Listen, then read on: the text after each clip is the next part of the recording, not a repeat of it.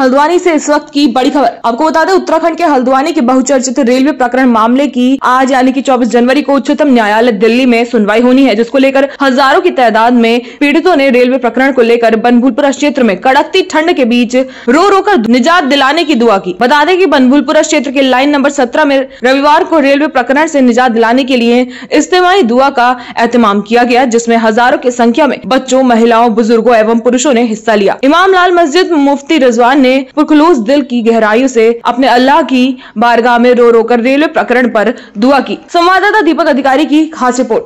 तो आ गई।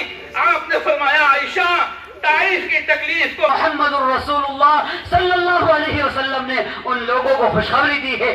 रब्बिगफिर वरहम व अंत खैरुर राहिमीन। वरहम व